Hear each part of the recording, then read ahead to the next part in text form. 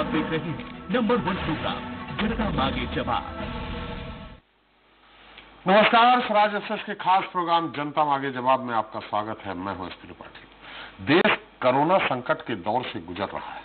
हालात सुधरने की जगह और बिगड़ रहे हैं। भारत में कोरोना के मामले तीन लाख का आंकड़ा पार करने के करीब है, जबकि अब तक साढ़े आठ हज़ार लोग अपनी जान गंवा चुके हैं। इधर छत्तीसगढ़, जो कोरोना पर काबू पाने के लिए देश ने मॉडल के रूप में उभरा था। वहाँ अब कोरोना ने जो रफ्तार पकड़ी है, वो थमने का नाम नहीं ले रही हर रोज सौ नए केस सामने आ रहे हैं और आंकड़ा पंद्रह सौ को पार करने के काफ़ी करीब पहुँच गया। हालाँकि कुछ राहत वाली बात यह है कि यहाँ मौतें सिर्फ़ छह हुई है। लेकिन जिस तरह की स्थितियाँ हैं, आगे चलकर हालात बद से बदतर हो सकते हैं। वैसे भूपेश सरकार कोरोना पर काबू पाने में लगी हुई है। इधर कोरोना के बढ़ते कहर पर विपक्ष आक्रामक है। खैर छत्तीसगढ़ में कोरोना का कहर कब थमेगा इस गंभीर विषय पर विस्तार से चर्चा होगी, साथ ही हम बात मध्य प्रदेश की भी करेंगे, जहाँ 24 सीटों पर होने वाले उपचुनाव के लिए बीजेपी और कांग्रेस के साथ ही बसपा भी कमर कर चुकी है। जहाँ जहाँ उपचुनाव होने हैं, उसमें कई सीटों पर बसपा का भी अच्छा खासा प्रभाव है। शिवपुरी की पोहरी की बात करें तो यहाँ बसपा को कम नहीं आंका जा सकता। बीते तीन चुनाव में लगातार मायावती के नेतृत्व वाली पार्टी ने अच्छे खासे मत हासिल किए। दोनों प्रमुख दल के सियासी गणित को बिगाड़ने का काम भी किया है। हालाँकि इस बार मामला उपचुनाव का है और बीजेपी सत्ता में काबिज है। ऐसे में राह केसरिया ब्रिगेड की आसान लग रही है, लेकिन अगर बसपा की ओर भी मतदाताओं का झुकाव रहा तो निश्चित तौर पर कांग्रेस और बीजेपी के वोट पिछले चुनाव की तरह कम हो सकते खैर यहाँ उपचुनाव कितना दिलचस्प हो सकता है, इस पर भी आज बात होगी, लेकिन शुरुआत छत्तीसगढ़ के साथ करते हैं, जहाँ कोरोना बेकाबू होता जा रहा है। लिहाजा पहले चर्चा कब थवेगा कहर के मुद्दे पर।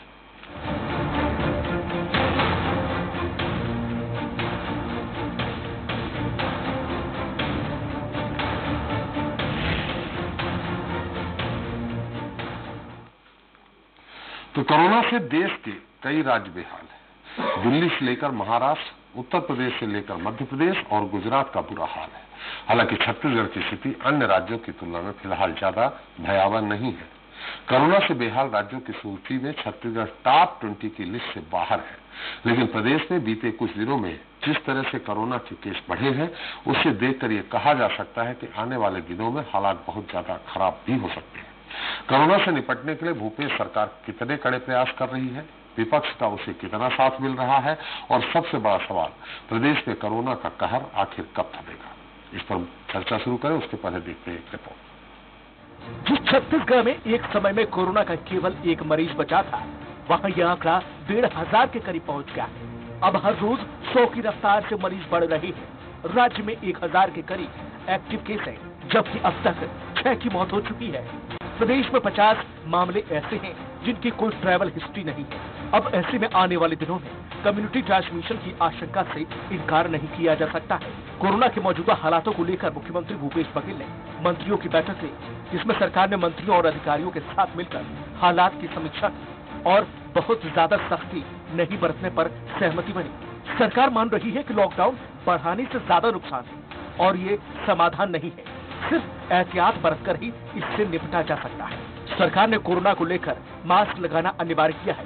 जो मास्क नहीं लगाएगा उस पर जुर्माना लगेगा। एहतियात बरतना सबसे ज़रूरी तो ये मास्क इत्यादि है इस पे हम लोगों ने काफ़ी ज़ोर दिया है कि सभी को मास्क पहनना इसको ज़रूरी कर देना चाहिए। कि हम लॉकडाउन करेंगे उससे कोरोना रुक जाएगा ये हल नहीं है। बाकी निर्णय मुख्यमंत्री जी लेंगे उस बाबत। इधर विपक्ष ने कोरोना के बढ़ते मामलों को लेकर चिंता ज़ाहिर की है। पूर्व मुख्यमंत्री डॉक्टर रमन सिंह ने कहा है कि टेस्ट की रिपोर्ट बारह दिन के बाद आ रही है। इस दौरान लोग गाँव और मोहल्लों में घूम रहे हैं। ऐसे में क्या हालात होने वाले हैं, इसका अंदाज़ा ही लगाया जा सकता है।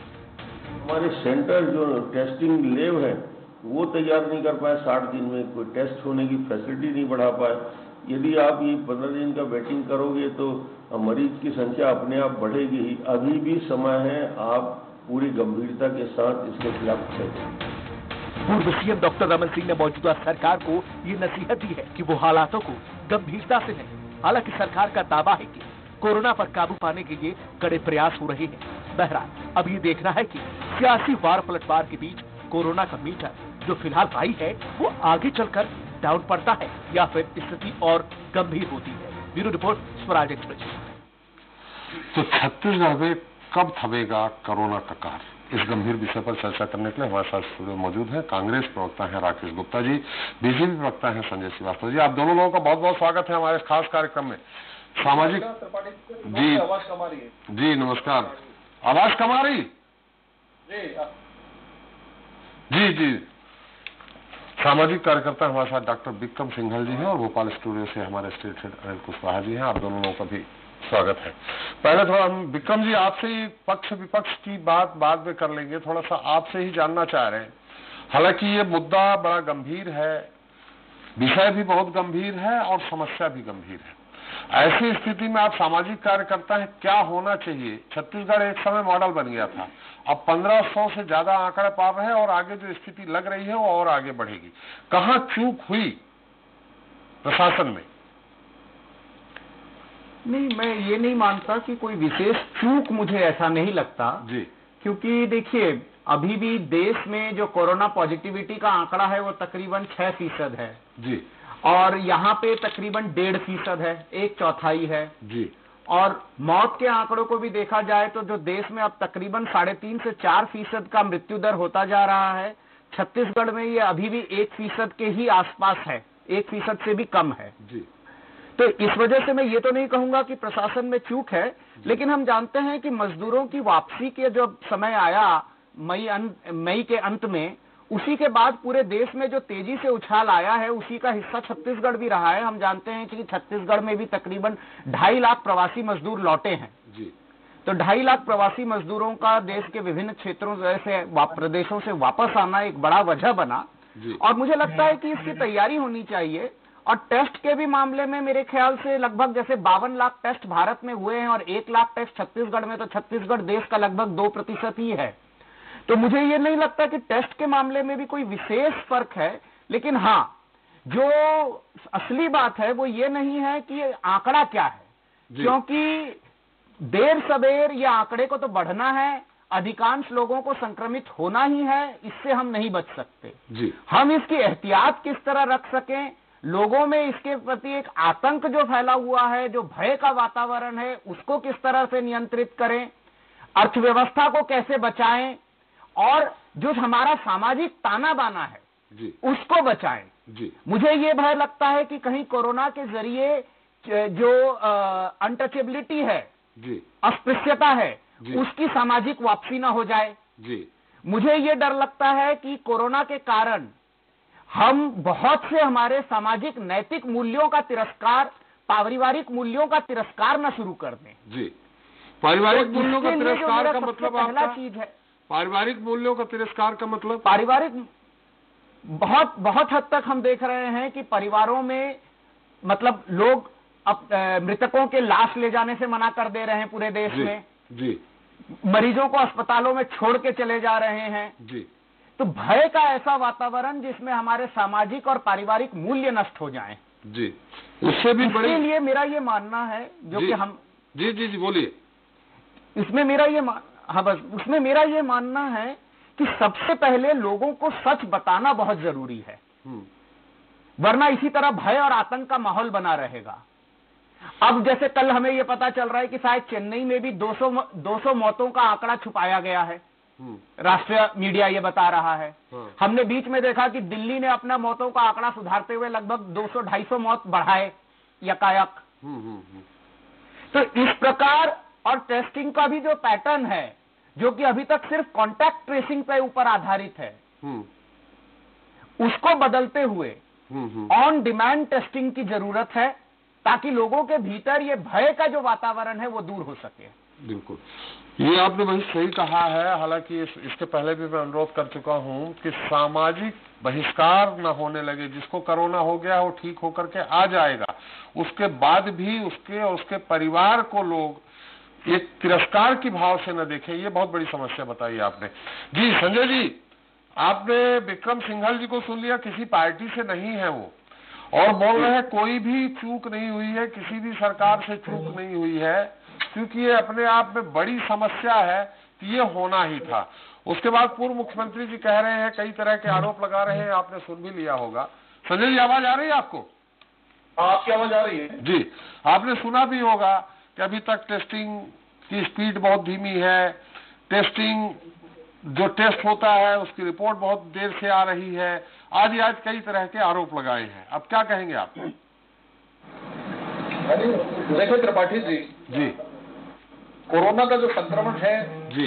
वो पूरे विश्व में फैला हुआ है देश में फैला हुआ है छत्तीसगढ़ प्रदेश में फैला हुआ है। जी। और जिस शहर के अंदर में मैं बैठा हूँ रायपुर या आप भोपाल में होंगे जी। तो सभी जगह फैला हुआ है। जी। अब इस कोरोना संक्रमण से हम सबको लड़ने की आवश्यकता है। प्रारंभिक तौर पर डब्ल्यूएचओ की गाइडलाइन फिर विभिन्न देशों की अपनी जो भी व्यवस्थाएँ रही है चाहे लॉकडाउन से संबंधित हो चाहे अनलॉकडाउन जब हुआ तमाम प्रकार की व्यवस्थाएँ केंद्र और राज्य सरकार के बीच का जो सिस्टम है उसके आधार पर ये चीज़ें ढाई तीन महीनों तक आगे बढ़ी जी। यदि हम विश्व की नज़रों में देखें या पूरा एज ए होल यदि हम विश्व में देखें तो उस दृष्टिकोण से ये बात तो सामने आती है जी। कि जब पचासों सालों से हम लोग बात करते हैं कि एडवांस कंट्री है तमाम प्रकार की सुविधाएँ हैं चाहे अमेरिका हो चाहे दूसरे देश हो वो देश भी इससे जूझ रहे हैं हाँ। संक्रमण से जूझ रहे हैं कारण कुछ भी हो उस परिस्थितियों में यदि हम जनसंख्या के दृष्टिकोण से भी देखें तो भारत देश के अंदर में भी एक सुरक्षित है बहुत बड़ा आंकड़ा नहीं है। जहाँ पर गरीब परिवार ज़्यादा है गरीबी है तमाम प्रकार के स्लम्स एरिया रहते हैं जहाँ पर कम्युनिटी स्प्रेडिंग भी हो सकती थी इन सभी चीज़ों को यदि हम मिलकर यदि एक आंकड़े देखें तो एक संतुष्ट संतुष्टिपूर्वक परिणाम कहा जा सकता है। जी। लेकिन कोरोना आगे चलकर कहाँ तक पहुंचेगा कोरोना को रोकने के लिए हम कितने सफल हुए असफल हुए ये तकनीकी तौर पर या मेडिकल पॉइंट ऑफ़ व्यू से या जो भी विशेषज्ञ हैं उनके आधार पर हम किस स्थिति पे खड़े हैं ये तो मुझे लगता है कि कहीं न कहीं इस पर चिंतन करने की आवश्यकता है। जी। और आगे अभी चिंता ये है कि आगे महीने दो महीने में जिस प्रकार के समाचार आते हैं सुनने को मिलते हैं तो एक चिंता का विषय आता है कि आखिर ये कैसे होगा। जी। और इन परिस्थितियों में यदि हम संतोष यदि हम संतुष्ट भी हो जाए यदि उन्होंने कहा या मैं कहूँ तो ये भी शायद ठीक नहीं है। जी। जहाँ तक छत्तीसगढ़ का सवाल है अब छत्तीसगढ़ में कांग्रेस के प्रवक्ता बैठे हैं कि नहीं बैठे मुझे नहीं मालूम। लेकिन बैठे हैं। का विषय नहीं हैं हैं हैं ना? राकेश जी हैं हाँ, आपके जोड़ीदार आरती सिंह जी ज़रूर नहीं है। ठीक है ठीक है। तो मुझे ऐसा लगता है जी। नहीं कोरोना के संक्रमण में वो भी समझदार हो गए तो थोड़ा ठीक ही बात करेंगे उम्मीद करता हूँ। नहीं आर- राकेश तो, गुप्ता जी है। अच्छा डॉक्टर राकेश गुप्ता है क्या? जी जी जी। जी हाँ नहीं नहीं ठीक है। तो मुझे ऐसा लगता है मुझे ऐसा लगता है त्रिपाठी जी जी। देखिए क्या हुआ ये? छत्तीसगढ़ में जिस तरीके से संख्याएँ बहुत कम बहुत कम संख्या थी शुरू में। हाँ हाँ। और जिस तरीके से शासन प्रशासन का जो रुख जो व्यवहार सामने आया कि हमने कंट्रोल कर दिया सब कुछ चीज़ें इस तरह की चीज़ें सामने आई। बहुत अच्छी बात थी। हम लोगों के लिए कोई प्रसन्नता थी। राजनीतिक विरोध हो सकता है लेकिन अच्छी बात थी कि छत्तीसगढ़ में संख्या कम है लेकिन ये सभी को मालूम था कि पूरे देश के अंदर में लॉकडाउन है। लॉकडाउन के बाद में राज्य की सरकारों ने ट्रेनों की मांग की ट्रेनों के माध्यम से हमारे क्षेत्र के जो लोग हैं वो हमारे राज्यों के अंदर में आ जाएँ। महीना डेढ़ महीने के बाद जो भी ट्रेनों को अनुमति मिली प्रवासी श्रमिक आए। श्रमिकों को आने का जो सिलसिला था जो बड़ी संख्या में सभी राज्यों को में जाने का था उसके बाद की कहानी ये होती है कि राज्यों को इन डेढ़ दो महीनों के अंदर में जो समय मिला इसमें अपनी तैयारियों को पूरा करना था। जी। ये समझ कर कि ये गंभीर मामला है। शायद इस बात को समझने में सरकारें नाकाम रही राज्य सरकार नाकाम रही। और प्रवासी मजदूर आने के बाद जो सीधे जो जिस तरीके से संक्रमण बढ़ा तो अब राज्य सरकारें ये कहेंगी छत्तीसगढ़ की राज्य सरकार ये कहेगी कि नहीं भैया वो तो श्रमिक आगे कारण हमारे यहाँ बढ़ गया। तो मुझे लगता है ये बातें ठीक नहीं है। आज आपको सबसे पहले इस बात की कोशिश करनी थी कि जो प्रवासी श्रमिक आ रहे हैं उनका परीक्षण टेस्टिंग ठीक तरीके से हो जाए क्वारंटाइन जिस तक ठीक तरीके से हो जाए उसके बाद ही उनको घर तक पहुँचाए ताकि इस तरह का जो कोरोना संक्रमण जो आज हर जगह चर्चा का विषय है कि प्रवासी श्रमिक के कारण हुआ हमारी इसमें कोई गलती नहीं है। तो मुझे लगता है गलती किसी की हो या ना हो ये आरोप प्रत्यारोप का दौर नहीं था। लेकिन हमको कहीं ना कहीं संवेदनशीलता के साथ में ये सब चीज़ों की व्यवस्था करनी थी जिसमें मुझे लगता है कि कहीं न कहीं एक असफलता कहीं न कहीं इसमें कमज़ोरी दिखाई दी। अब हम छह फ़ीसदी तीन फ़ीसदी दो फ़ीसदी में सुन रहा था यदि वैसी हम बात करें तो आज दूसरे जो राज्य हैं उनकी यदि हम पॉपुलेशन की बात करें कितनी है? हमारा छोटा राज्य हमारे यहाँ क्या कंट्रोल होना था? मैं इस आंकड़ेबाजी में नहीं जाना चाहता। लेकिन जिस तेज़ी से छत्तीसगढ़ में भी संक्रमण बढ़ा है तो चूक कहाँ हुई? है? चिंता का विषय चिंता का विषय चू- संजय जी चूक कहाँ हुई है? एक दूसरा आपने कहा कि राज्य सरकारें समझ नहीं पाई जिस इस इसकी गंभीरता को। तो वो कौन सी राज्य सरकारें हैं? सभी राज्य सरकारें हैं या दो ही तीन? पंजाब है दिल्ली है छत्तीसगढ़ है महाराष्ट्र ऐसा तीन ही चार है। है देखिए त्रिपाठी जी। जी। त्रिपाठी जी बहुत कॉन्सेप्ट क्लियर है हम सब लोगों का कोरोना के मामले में। कहीं कोई राजनीति का विषय नहीं है कि हम चुन चुनकर कांग्रेस की सरकारों पर आरोप लगाए। जी।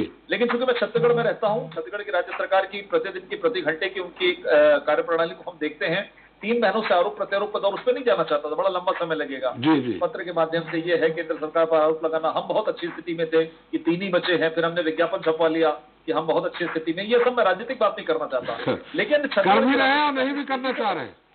जिस तेज़ी से बढ़ा जिस तेज़ी से बढ़ा देखिए आपको आपको मालूम था कि आपके लोग आएँगे आप उनको रोक नहीं सकते। जी। कितने दिन रोकेंगे आप? तो वही तो मैं पूछ रहा हूँ, चूक तो कहाँ हुई? कहीं ना कहीं कहीं ना कहीं परीक्षण और टेस्टिंग किट्स हॉस्पिटल्स उसके बाद क्वारंटाइन अब ये मुझे कहने में फिर खराब लगता है बार बार कहना पड़ता है कि छत्तीसगढ़ देश का एकमात्र ऐसा राज्य है जहाँ पर क्वारंटाइन सेंटर में आत्महत्या हुई है जहाँ पर क्वारंटाइन सेंटर में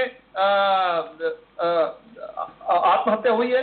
क्वारंटाइन सेंटर के अंदर में सांप काटा है क्वारंटाइन के अंदर में लोग भागकर चले गए हैं। क्वारंटाइन सेंटर के पचास पचास लोग जाकर गाँव के तालाब में नहा लेते हैं उसमें से बीस संक्रमित निकल जाते हैं गाँव के अंदर में हाहाकार मच जाता है। ये पहला सा राज्य है। तो ये नियंत्रण कौन करेगा? केंद्र की सरकार नहीं करेगी। ये नियंत्रण राज्य सरकारों को करना था। और अभी जिस तरीके से स्थिति है कि थकान थक गया है प्रशासन ऐसा लग रहा है। अभी तो बड़ी चुनौती हो सकता है सामने आए। क्योंकि इस बात की पुष्टि बार बार स्वास्थ्य मंत्री टीएस सिंहदेव जी कर रहे थे लेकिन दुर्भाग्य से यहाँ पे अन्य जो मंत्री और मुख्यमंत्री जी लगातार इस बात को नकार रहे थे कि ऐसी कोई स्थिति नहीं आएगी हमारे यहाँ कंट्रोल में है। तो मुझे लगता है सरकार की दिशा भी अलग अलग थी और समन्वय भी नहीं था। यदि इस बात को समन्वय के साथ में इसकी तैयारी करते तो मुझे लगता और भी बेहतर परिणाम होते। जी राकेश पूछ रहे थे जैसे आपने कहा ऐसे माहौल में जब थोड़ा बहुत पानी गिर जाता है संजय जी तो सांप घरों में भी घुस के काटते हैं। हमको और आपको मालूम है क्वारंटाइन सेंटर है सांप को थोड़ी मालूम है कि हम क्वारंटाइन सेंटर में नहीं जाएँगे। तो अगर एक दो इस तरह की घटनाएँ सांप काटने से हो गई और क्वारंटाइन सेंटर ग्रामीण क्षेत्रों में भी है क्वारंटाइन सेंटर और मैंने पता किया उन्हीं क्षेत्रों में सांप ने डसा है एक दो लोगों को। जी। जी बारह पंद्रह घटनाएँ जिसका मैं उल्लेख कर सकता हूँ लेकिन अभी समय नहीं है। जी चलिए। राकेश जी राकेश जी आप डॉक्टर भी हैं। संजय जी जी। ने बहुत रिस्पेक्ट के साथ कहा कि राजनीतिक बात मैं नहीं करना चाहता हूँ लेकिन पूरी राजनीति की बातें आई हैं। सामंजस्य सामंजस्य की कहीं कमी थी। तैयारी की कहीं कमी थी। और बिल्कुल उनका अगर विपक्ष में होने के नाते अगर ये बात उठा रहे हैं कि आत्महत्या क्वारंटाइन सेंटर अगर आपने बनाया है तो सरकार के अधीनस्थ हो जाता है।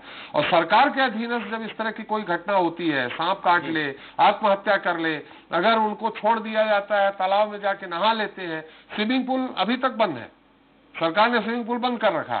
तो वहाँ ऐसी क्या व्यवस्था हो गई?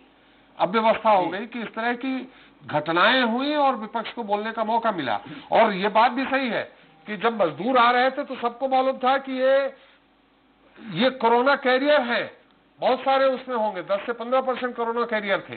तो व्यवस्था ही सरकार का काम है, व्यवस्था ही करना। इस महामारी को सरकार नहीं रोक पाएगी, ना मोदी सरकार, ना भूपेश सरकार, ना अन्य कोई सरकार। लेकिन अगर व्यवस्थाएँ सही रहेगी तो निश्चित तौर पे इस पे ब्रेक लगाया जा सकता है। इसकी चैन को तोड़ा जा सकता है। राकेश जी। देखिए सबसे पहली बात तो मैं बहुत विनम्रता पूर्वक ये कहना चाहूँगा कि छत्तीसगढ़ सरकार के सामंजस्य और तैयारी का ही नतीजा था कि इतने लंबे समय बाद एक ग्राफ में उछाल आया। जहाँ तक पूरी छत्तीसगढ़ सरकार है वो पूरी ज़िम्मेदारी के साथ संवेदनशीलता के साथ और सामाजिक दायित्व निभाते हुए उसने न केवल छत्तीसगढ़ के रहवासियों के बल्कि आने वाले जो हमारे छत्तीसगढ़ी भाई थे उनको अधिक से अधिक संख्या में क्वारंटाइन सेंटर में रुकाया एक बात मैं बहुत स्पष्ट तरीके से कहना चाहता हूँ कि जो मजदूर छत्तीसगढ़ की सरकार पहली सरकार थी जो मजदूर यहाँ से गुजर के अपने राज्यों में छत्तीसगढ़ से होके जा रहे थे उनकी पूरी व्यवस्था की उनको बॉर्डर में छोड़ने की व्यवस्था की उनके भोजन और उतने दिन रुकने की व्यवस्था की। ये सारी राज्य सरकारों ने किया, साहब। नहीं किया केवल राकेश जी सारी राज्य सरकारों ने किया है। नहीं जी। जी। नहीं जी सबसे पहले छत्तीसगढ़ की सरकार ने किया उसके बाद दूसरी सरकारों ने किया। ये छत्तीसगढ़ पहली सरकार थी जिसने अपने बॉर्डर में मजदूरों को लाके दूसरे राज्यों के बॉर्डर में आप रिकॉर्ड निकाल के देख सकते हैं। मैं कोई ऐसी बात नहीं कह सकता जो। रिकॉर्ड में मौजूद ना हो। जी। दूसरी बात ये कि जितनी संख्या में सामाजिक सुरक्षा का भान करते जो मजदूर आए एक लाख चालीस हज़ार का एक आंकड़ा हमने सोच के रखा था लेकिन चूँकि सामाजिक सुरक्षा और मनरेगा की व्यवस्था छत्तीसगढ़ सरकार ने इतनी मज़बूत की जो हमारे मजदूर भाई बहुत लंबे समय तक खाने पीने के लिए दूसरे प्रदेशों में गए थे वो आंकड़ा आज दो लाख चालीस हज़ार है। क्वारंटाइन आपने कहा एक लाख चालीस हजार- भवन पंचायत भवन राकेश जी आपने कहा एक लाख चालीस हज़ार आपका आकलन था। जी। हैं? और आ, आ गए ढाई लाख तो क्या दूसरे राज्यों से आ गए? छत्तीसगढ़ के ही पलायन करके गए होंगे वही आए हैं ना? नहीं जी देखिए क्या है मैं मैं मैं आपको इसका गणित समझाता हूँ। एक लाख चालीस हज़ार ऐसे मजदूर थे जो हर वर्ष जाते हैं जी। दूसरे राज्यों में कमाने खाने। लेकिन कुछ मजदूर भाई या परिवार ऐसे होते हैं जो लंबे समय बाद आते हैं लेकिन चूँकि उद्योग बंद हो गए खाने पीने की व्यवस्थाएँ नहीं हो सकी तो वो मजदूर भाई भी आए जो पिछले दो तीन सालों से अपने गाँव में नहीं आए थे। मनरेगा के अंतर्गत सामाजिक सुरक्षा और रोज़गार देने वाला छत्तीसगढ़ सबसे बड़ा राज्य है और आज की तारीख में करीब 20 से 22 लाख मजदूर गाँव में काम कर रहे हैं। यदि कृषि कार्यों से छत्तीसगढ़ को जोड़ा गया मनरेगा को तो मेरा दावा है कि छत्तीसगढ़ एक मॉडल बनेगा मनरेगा के लिए राकेश जी, हम रोज़गार के सब्जेक्ट नहीं हैं। रोज़गार देगा। अब जी। रोज़गार का सब्जेक्ट नहीं है। सब्जेक्ट आज ये है कि आखिर कोरोना संक्रमण क्यों बढ़ रहा है? कोरोना कोरोना के मामले क्यों बढ़ रहा है। सब्जेक्ट ये है राकेश जी कोरोना के मामले क्यों बढ़ रहे हैं? बारह बारह दिन बाद रिपोर्ट क्यों आ रही है? क्वारंटाइन सेंटर में सही व्यवस्था क्यों नहीं है? ये सब्जेक्ट है। देखिए पूरे पूरे पूरे देश पूरे देश में टेस्टिंग की फैसिलिटी कम है टेस्टिंग किट कम है लेकिन छत्तीसगढ़ में जो व्यवस्था है क्वारंटाइन सेंटर में सैंपलिंग का स्तर बहुत अच्छा है। आप यदि समझते हैं कि टेस्टिंग दूसरे राज्यों में हो रही है दिल्ली में हो रही है तो ये आंकड़ा आपके पास गलत है। जी। टेस्टिंग की फैसिलिटी टेस्टिंग किट पूरे देश में कमी है क्योंकि ये विदेश से आती है या फिर बहुत कम संख्या में बन रही है या बहुत ज़्यादा मरीज़ मिल रहे हैं इसलिए टेस्टिंग किट कम पड़ गई। आप जो ये समझ रहे हैं कि केवल कोरोना संक्रमण से लड़ना है मुझे लगता है वो एक पक्ष दिख रहे हैं। हमें न केवल कोरोना संक्रमण से लड़ना है बल्कि उन लोगों के रोज़गार और उनके खान पान की भी व्यवस्था करनी है ताकि आने वाले दिनों में किसी प्रकार के अवसाद की स्थिति नहीं आए कि कोरोना संक्रमित मरीज़ के परिवारों का क्या होगा। जी। जो सामाजिक सोच होती है वो उभय पक्षी होती है और बहुत सारे एस्पेक्ट उसमें होते हैं जिसमें छत्तीसगढ़ की भूपेश बघेल सरकार सफल रही। हमें केवल कोरोना संक्रमण से नहीं लड़ना, ये एक पक्षी सोच है।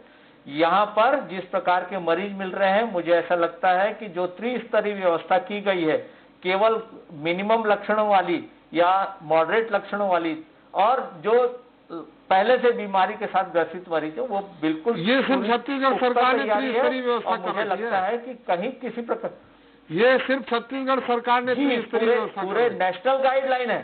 जी तो ये सिर्फ़ छत्तीसगढ़ सरकार ने गाइडलाइन है उसका फॉलो किया जा रहा है। ये व्यवस्था सिर्फ़ छत्तीसगढ़ सरकार नहीं बाकी सरकारों ने नेशनल गाइडलाइन का पालन किया। जी हम लोग नेशनल गाइडलाइन का पालन कर रहे हैं और मुझे लगता है कि छत्तीसगढ़ सरकार ने जितनी स्थिरता बना के रखी है वो संक्रमण को टैकल करने के लिए सामाजिक अनुशासन जितना छत्तीसगढ़ में है मुझे लगता है कि छत्तीसगढ़ इसमें मॉडल बन के उभरेगा हमें सामाजिक शारीरिक दूरी बनानी है मास्क पहनना है और जो लॉकडाउन का अनुशासन का पालन छत्तीसगढ़ में हुआ वो शायद कम राज्यों में हुआ है। यहाँ पर आपने देखा होगा कुछ दिनों पहले एक सरपंच जी का वीडियो वायरल हुआ था। राकेश जी आज आप मास्क कंपलसरी आज कर रहे हैं। लॉकडाउन के नियमों राकेश जी राकेश जी आप कह रहे हैं कि छत्तीसगढ़ गाइडलाइन का आज मास्क पहनना कंफर्म किया। छत्तीसगढ़ में कंपलसरी किया आपने। आज आज आज मीटिंग हुई है आज डिसीज़न हुआ। छत्तीसगढ़ में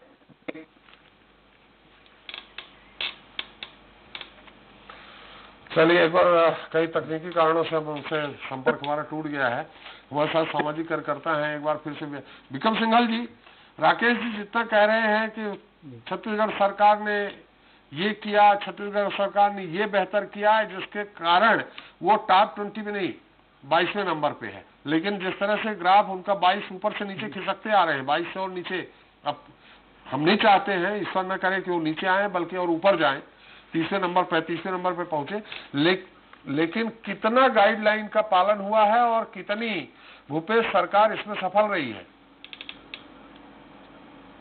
देखिए गाइडलाइन का पालन तो मुझे लगता है कि गाइडलाइन क्रमशः लगभग सभी राज्यों ने किया है। जी। समाज और जनता लेकिन छत्तीसगढ़ में जो विशेष बात रही यहाँ की कि हमारे पास अ, हमारे होम ग्रोन पेशेंट्स बहुत कम हैं। जी।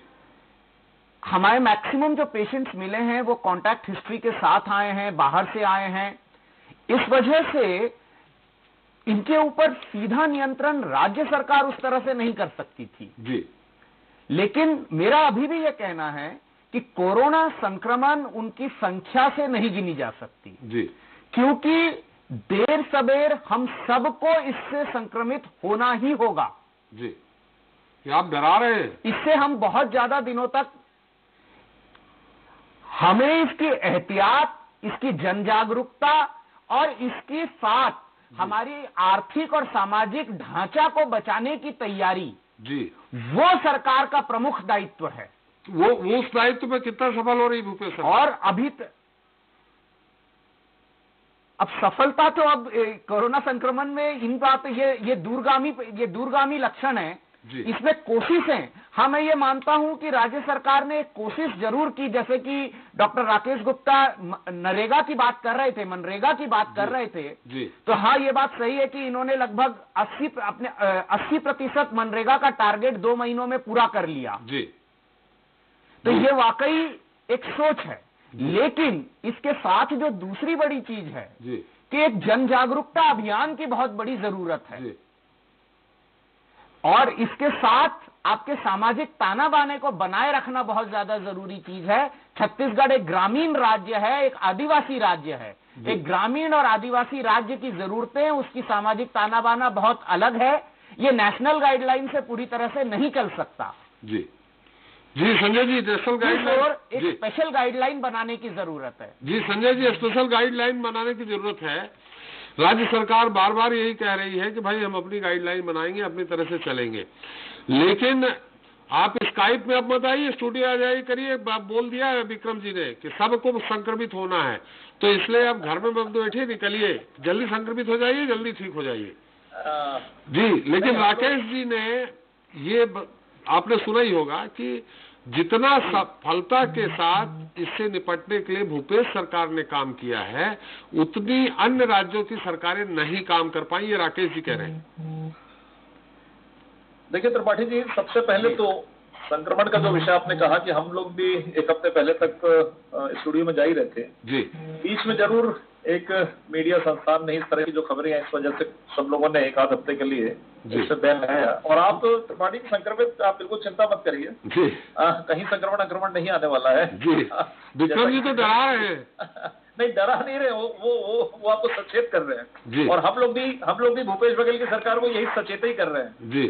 तो सबसे पहले ये विषय है कि देखिए इस सरकार की सबसे बड़ी उपलब्धि यही है कि सरकार ने डेढ़ वर्षों में एक ही चीज़ को सीखा है। और जो आपने लगातार अभी भी देखा डिबेट में या पहले भी देखा होगा अन्य प्रवक्ताओं के माध्यम से जी। कि जो चीज़ें हो रही हो वो हमने ही किया है बाकी किसी ने नहीं किया। जी।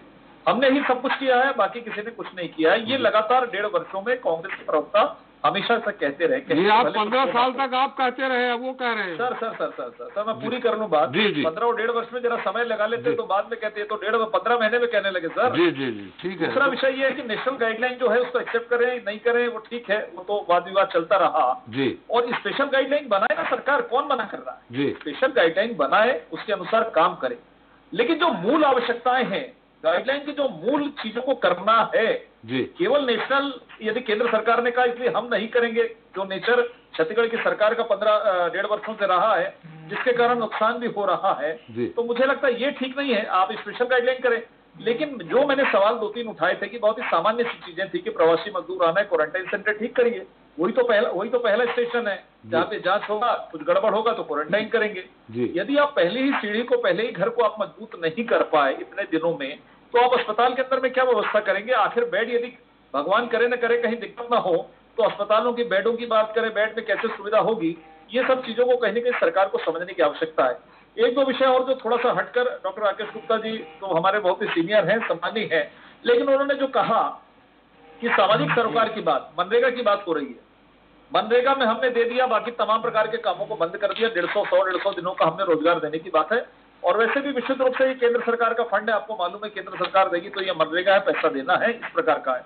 लेकिन पंद्रह वर्षों में जो पूरे छत्तीसगढ़ के अंदर में गाँव अंचलों के अंदर में जो काम होते थे नदी नालों से लेकर स्कूल बिल्डिंग से लेकर तमाम प्रकार के विकास के कार्य जो साल भर चलते थे वो तमाम प्रकार के काम डेढ़ वर्ष में बंद है। ये मेरी चुनौती की कोई बता दे चलकर कि यहाँ पर काम अतिरिक्त काम हो रहा है हो रहा है। और इसीलिए इसीलिए भूपेश बघेल जी की सरकार को यही नहीं मालूम है जो गणित डॉक्टर राकेश गुप्ता जी समझा रहे थे ये पहले दिन से हल्ला कर रहे थे कि सवा लाख सवा लाख आएँगे इनके पास संख्या नहीं है मजदूरों की।